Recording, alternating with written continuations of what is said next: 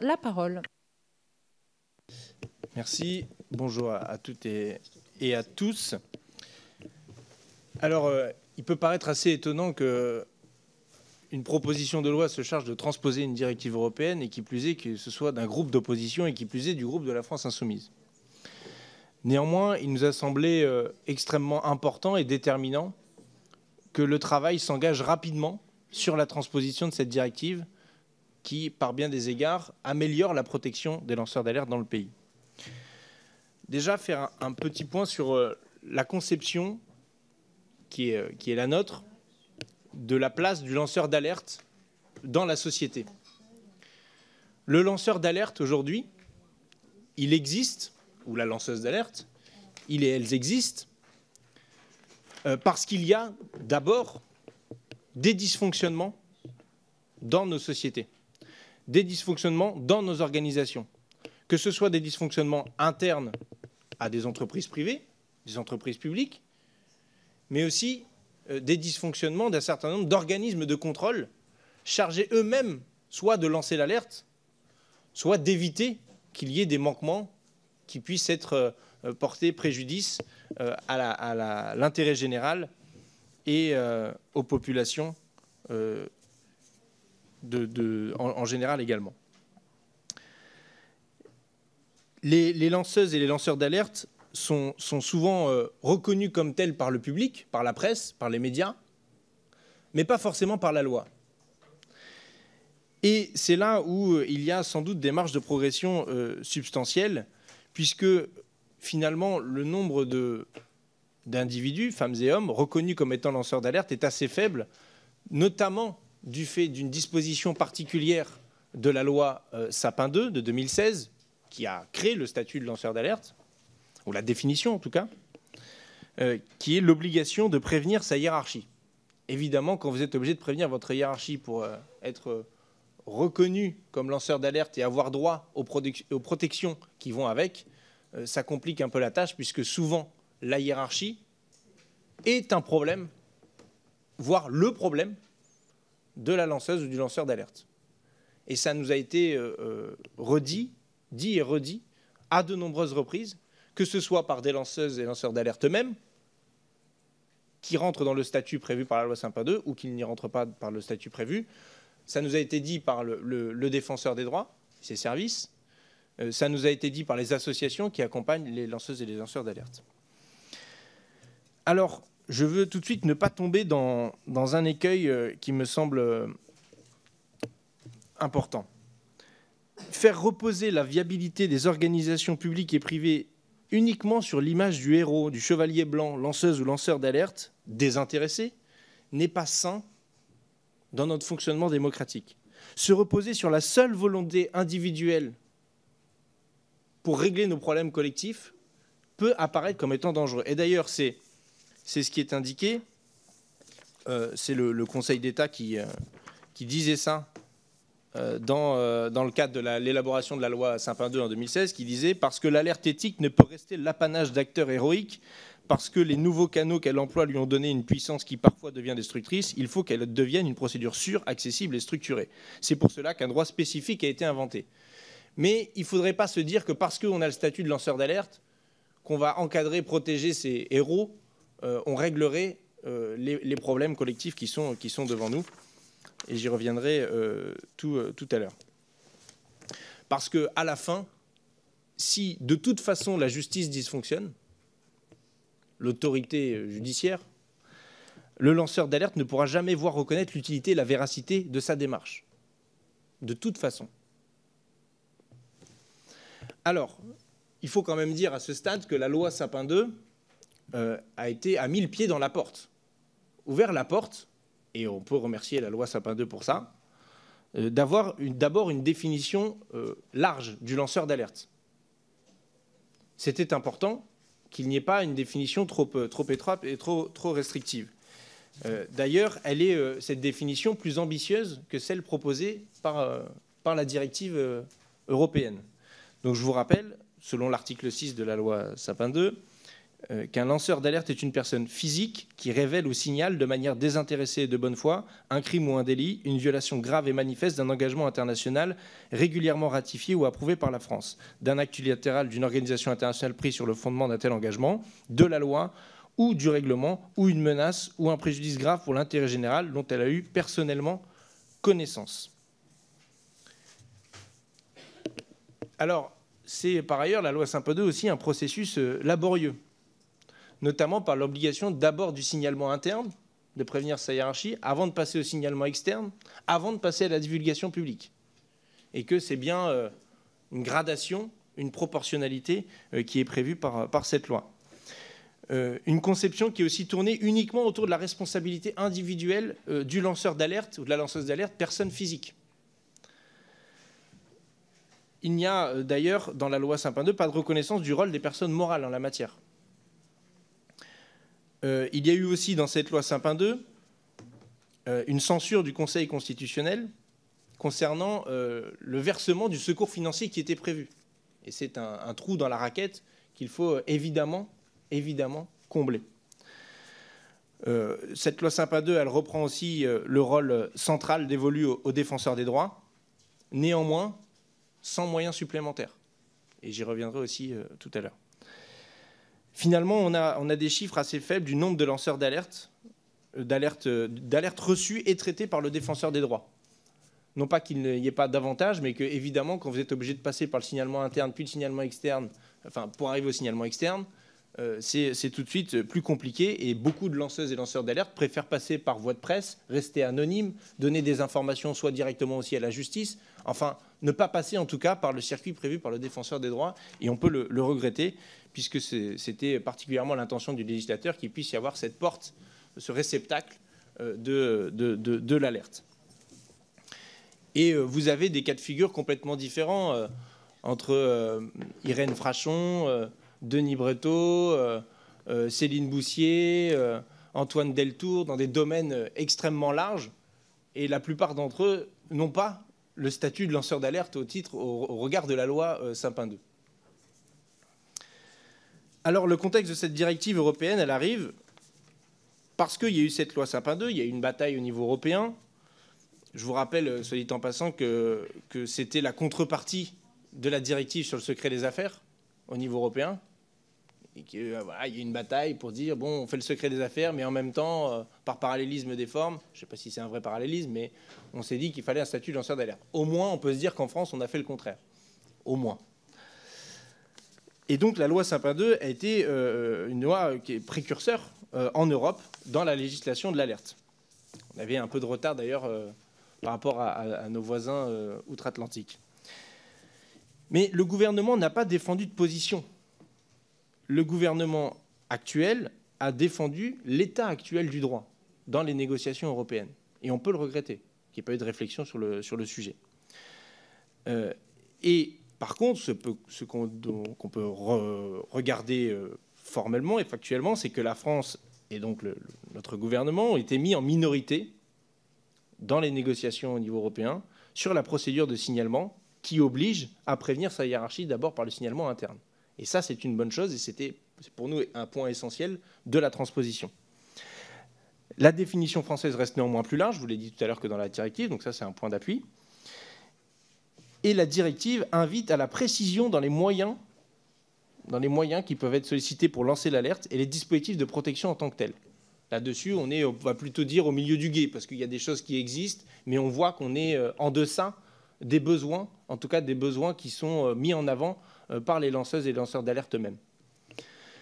Elle invite évidemment, j'ai dit évidemment, mais ce n'est pas forcément évident, mais la directive invite à surtransposer. Je le dis, je sais que c'est un débat souvent dans cette commission des lois et à l'Assemblée nationale en général, mais là, c'est une invitation très claire. Et il y a aussi un principe de non-régression dans la directive, qui indique aux États, si vous avez un droit, une définition, par exemple, ce qui est notre cas, plus large que ce qu'on vous propose sur le lanceur d'alerte, gardez-le. Ne revenez pas en arrière. Alors le calendrier devant nous est le suivant. La signature de la directive a eu lieu le, 7 octobre 2019, euh, sa publication un peu plus tard. Euh, et nous avons deux ans pour transposer la directive sur la plupart des champs, pas tous, hein. il y en a certains, c'est trois ou quatre ans. Donc, mais pour l'essentiel, c'est avant décembre 2021. Décembre 2021, chers collègues, c'est demain. C'est demain. Depuis la loi de 2016, le défenseur des droits s'est approprié le sujet qui, lui, lui a été confié. Et le secteur associatif, c'est aussi, euh, et privé, c'est structuré, notamment dans la maison des lanceurs d'alerte.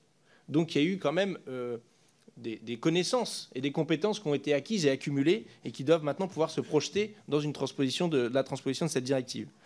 Le défenseur des droits a d'ailleurs lui-même organisé un colloque de dimension européenne le 3 décembre dernier, qui a été conclu par la garde des Sceaux et où notre collègue que je vois présent ici, Sylvain Wazerman, est intervenu, puisqu'il était auteur d'un rapport sur la protection des, lanceurs d'alerte pour l'Assemblée parlementaire du Conseil de l'Europe, qui a été publié en août dernier, euh, et qui recoupe un certain nombre de, propositions qui sont faites par la, transposition qu'on vous propose. C'est donc dès à présent qu'il faut travailler à la transposition de cette directive sans attendre la dernière minute et se contraindre nous-mêmes à un travail à minima dans l'urgence. Je l'ai trop vécu et nous l'avons trop vécu collectivement de se dire ah oui il faut transposer, toute façon, il reste quatre mois. C'est pas maintenant qu'on va commencer à faire des auditions euh, et à chambouler l'état du droit actuel. Donc, euh, transposons un minima. Je pense que ce serait une erreur politique que de faire de la sorte. Parce que, aussi, et il faut le dire, chaque jour qui passe, ce sont autant de lanceuses et lanceurs d'alerte qui ne bénéficient pas de la protection que la société leur doit. Et il se trouve que je suis allé voir euh, récemment un film qui vient de sortir au cinéma sur l'alerte qui a été lancée sur les composants du téflon, pour ceux que ça intéresse, avec l'intoxication mondiale sur le C8, et euh, qui montre qu'il a fallu 20 ans à un avocat surdéterminé, à quelques citoyens surdéterminés, pour faire reconnaître un danger euh, mortel pour la totalité de la population mondiale. 99% des êtres humains ont du C8 j'ai plus la formule chimique exacte, hein, mais c'est 8 atomes de carbone et c'est fluoré. Bref, vous chercherez par, vous-même. Euh, et on voit bien euh, que c'était, et le film le raconte, toutes les entraves, le parcours du combattant pour ceux qui veulent euh, lancer l'alerte en la matière.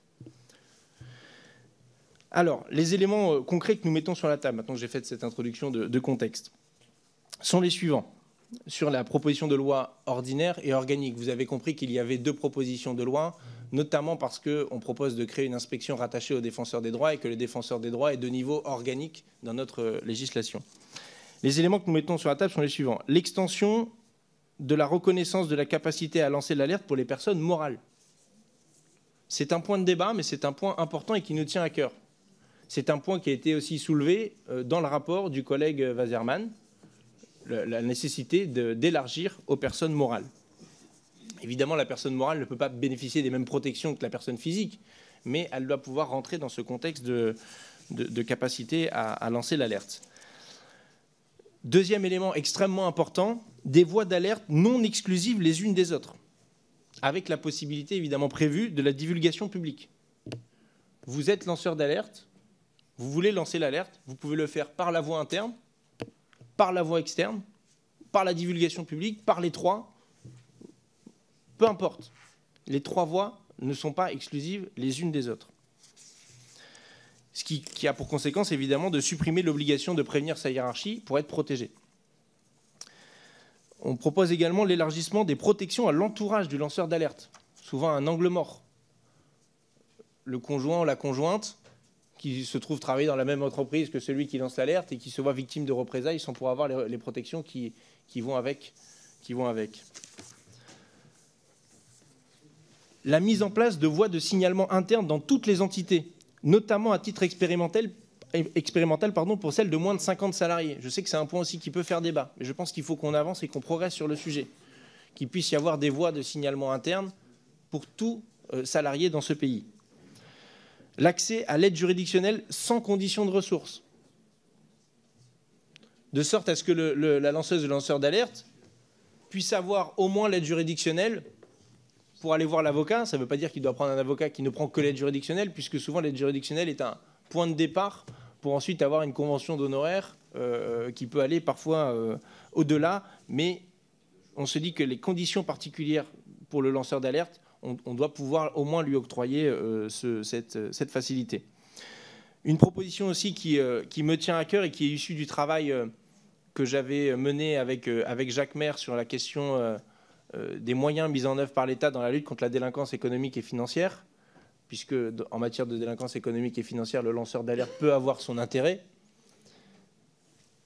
on avait proposé qu'il puisse y avoir un accès facilité à la fonction publique, à l'emploi public.